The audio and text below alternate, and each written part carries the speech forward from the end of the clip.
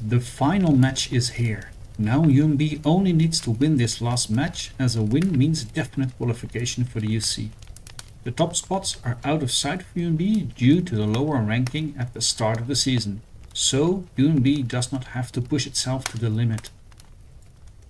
UNB's final opponent also will qualify for UC if it wins, so this match can be a contest to the final second. Will this be such a match? Or will UNB do what has been doing all season long? Overwhelm its opponents.